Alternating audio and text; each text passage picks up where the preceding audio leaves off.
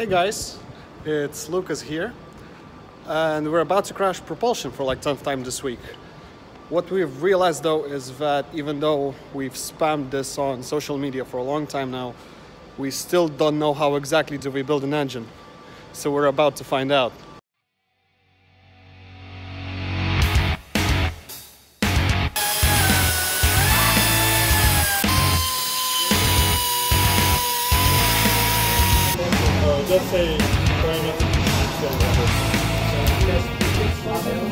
Hashtag bestie. Hashtag 38. Just mix it. Mix it.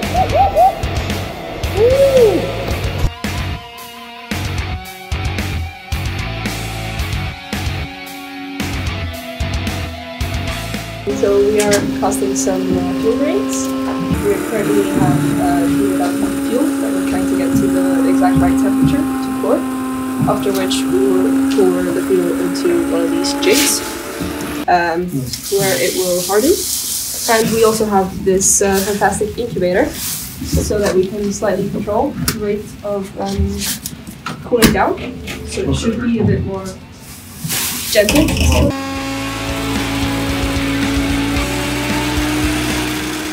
Management wants you to find the difference between these two pictures.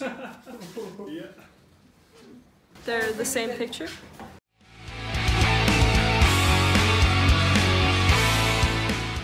Can you go back to where there's the most caps? I want to see. And then pause there. There. Okay.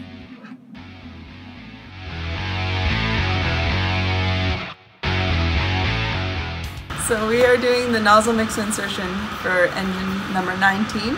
So we'll be assembling a full graphite nozzle, which Ernst is working on over there. You can show them Ernst, the full graphite nozzle. Um, as well as the mixer, which is our Pertinax mixer that helps swirl the fuel, and the retainer ring, which keeps the nozzle in place. And it's all going to be inserted in our big combustion chamber over there. So, should be fun, right guys? Definitely. Yes. Yeah.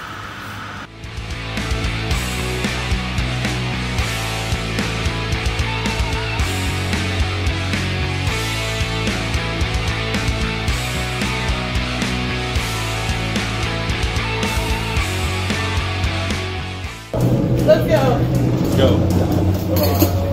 Hi there. So today we are going to put the grain inside the aluminium chamber. So we're actually on the final phase of the engine assembly.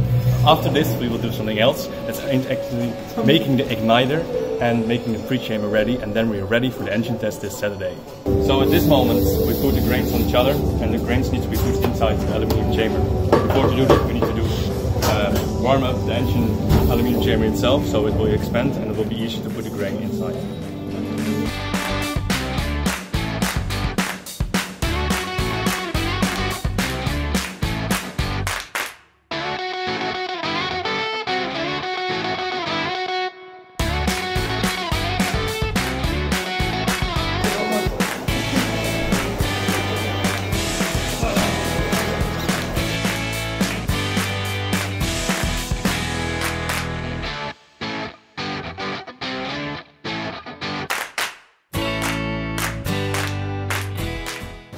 We're making the pre-chamber, which uh, goes above the fuel grains in the engine. And uh, we are currently fitting the different layers of it because it is made up of layers of cardboard and um, cork. And we need to cut those to a very tight fit because this need, thing needs to be very, very tight. And we'll also put smoke in there, which is a uh, sort of heat sealant, protects against the very big heat in the combustion chamber.